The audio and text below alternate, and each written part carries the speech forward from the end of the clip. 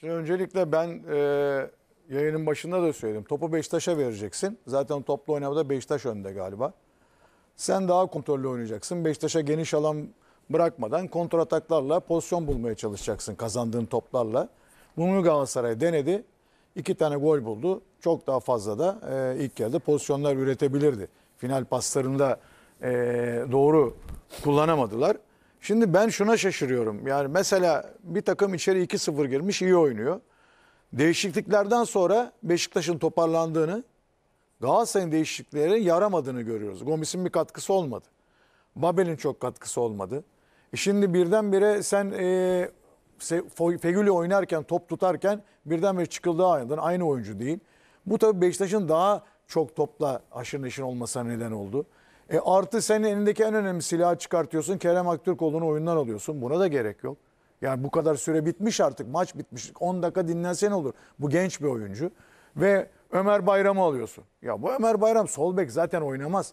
Yine girdi, sarı kartı gördü. E, sıkıntılar yaşayabildi. Galatasaray'ın bu oyun süreci içerisinde e, yapılan değişikliklerin yansımadığını, iyi takıma olumlu yansımadığını görüyoruz. Ama oyunun doğru bölümünde, çok doğru bölümünde e, özellikle ilk yarıda Muhammed Mustafa'nın çalışkanlığı, top çalması, rakiple mücadele etmesi, iki tane bireysel becerisiyle e, Kerem'e gol attırması, Kerem'in çalışkanlığı ki önünde Rozya gibi çok çabuk bir oyuncuya rağmen o bölgede etkili olması. Yani bunlar göz ardı edilecek başarılar değil.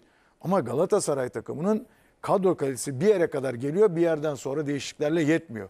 İkinci yarıya başladığın zaman Galatasaray çok iyi oynadı diyemezsin.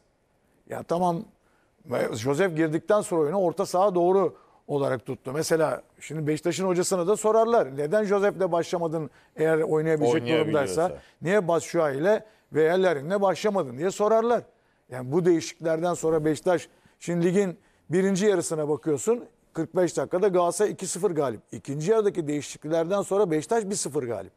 Ya oyunun bir de öyle bakıp verdi şeyine bakalım yani. Fotoğrafa bakalım. İlk yarıyı Galatasaray kazanmış, ikinci yarıyı Beşiktaş kazanmış. O zaman demek ki yanlış yanlış oyuncu kadrosuyla başlamış Beşiktaş. Bunun fırsatta doğru kadroyla başlayan Domenek Tonek var. Ne demişti? Sol bek Ömer oynatacağım, sağ bek Omar, oynatacağım. Sizleri dinlendireceğim.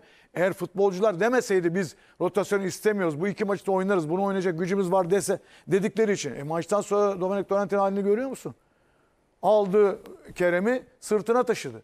Çünkü onu başarıya götüren hiç böyle bir şey var mı? E Çok önemli yani kendi hoca bu değişiklikleri yapmak için yapılmaz. Oyuncu da konuşsa Fegüli'yi niye çıkartıyorsun? Fegüli sakatım derse çıkart. Hayır sen diyorsun ki Barcelona maçını düşünüyorum. Senin önce birinci maçın bu. Xavi'ye sormuşlar. Galatasaray maçını düşünüyoruz. Hayır önce birinci maçı düşünüyoruz demiş. Osasuna maçını. Öndeki maçı kazanacaksın. Senin bak 38 puanla 11. sıraya geldin. Hala daha nefes almış. 1-2 ma- puan nefes almış durumdasın. Yani 29 puanlı şey 9 puanlık Altay'ın önünde bir avantajın var. Yani öyle düşün.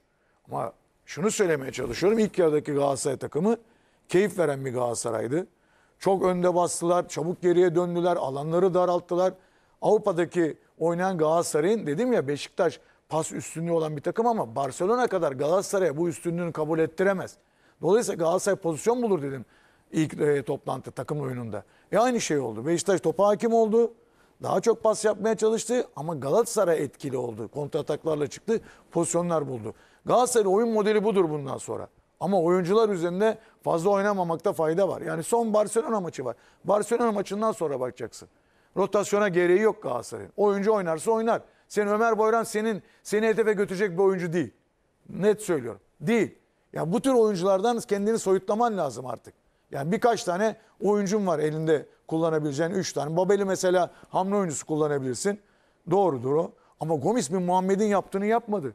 İkili mücadele koşup e, rakibi değil. Ama son pozisyonda gördüğüm kadarıyla Erman Hoca burada bir yakın plan gösterdiler burada. Kırmızı kart. Kaleci indiriyor. Topa müdahalesi yok kalecinin. Yani bunu resmen var müdahale etmedi. Oyun devam etti. O devamında gol olsa belki dönüp o pozisyona bakacaklar. Ama yani bunlar birazcık da varın daha sabit, e, daha kontrol olması gerektiğini düşünüyorum hakemlerin. Mesela maçı da izledik. Erman Hoca da pozisyonları bırakacağım. Bakacağız. Ama Beşiktaş'ın o ikinci yarıdaki kale önünde Galatasaray kale önüsünde etkili olduğunu düşünebiliriz. Bak ilk yarıda e, 19'a 5'ti galiba verdiğin zaman. Galatasaray Ceza 19 ceza sahasına alanı giriş, içinde evet. 16-5 ve 19-5 bir hata yapmayın. 19-5. 19-5 doğru. İkinci yarıdaki ceza alanına bakmamız lazım. Bakacağız İkinci yarıda bence Beşiktaş onu kapattı diye tahmin ediyorum. O Ee, geldi mi gelmedi mi göreceğiz. Tabii Ama kartlara, Galatasaray için avantaj şöyle bir maçı kazanmak. pozisyonlara hepsine bakacağız. Yani Derbi galibiyeti Çok kritik bir dönemde. moral anlamda da Barcelona'dan sonra Konya çok sonra. Barcelona moraliyle bu derbi maçını kazanmak Galatasaray taraftarı için de bir özgüven oldu. Yani perşembe gününü Galatasaray taraftarı daha fazla dolduracaktır. Ee, şimdi Gökhan Hocam özellikle ilk yarıda e, o baskı altında hiç istediği oyunu sergileyemedi Beşiktaş. Ben bilmiyorum katılır mısınız ama ben ilk bölümde sezonun en kötü ilk yarı performanslarından biri diye değerlendirdim. Ee, çok pas hatası yaptı, o baskıya yanıt veremedi. Ee, rakip alanda tehdit oluşturamadı. Böyle olunca e, yani duvar tenisi bütün toplar geri döndü. Ayakta da top tutamayınca sürekli yeni bir Galatasaray hata, yeni bir Galatasaray hata bu şekilde geçti iş. Ee, sonra Önder Hoca iki değişiklik yaptı. Güveni ve e, Kenan'ı çıkarttı. Kenan'ı çıkarttı Karaman'ı. Batshuayi ile Larin'i aldı.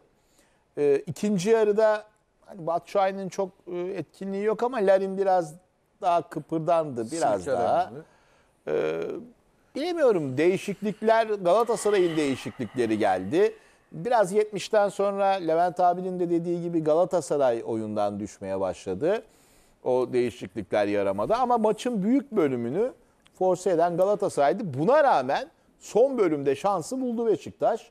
Ee, beraberliği yakalama şansını da elde etti 2-1'in ardından.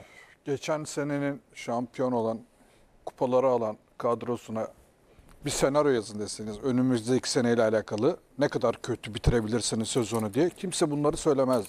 Yani bir şekilde ya kupada devam Akıl alır ederdi, gibi değil, ya değil mi? şampiyon. Tabii tabii geçen seneyle e, bu sene arasında hiçbir artık amacı, hedefi olmayan bir Beşiktaş var. Önünde oynayacağı 9 tane formalite maçı kalan. 9 tane maçı bir şekilde oynayacak ve ligi bitirecek. Artık Beşiktaş'ın hedefi ne derseniz kalan her maçta kazanmak, galip gelmek için. Zaten Beşiktaş formasının olduğu her yerde her maça Yani kazanmak doğal için çıkarsın. olarak. Tabii. Artık hedef bu. Maça gelecek olursak ilk yarı itibariyle e, Galatasaray daha konsantreydi, daha isteyen taraftı. E, Beşiktaş buna fazla ayak uyduramadı.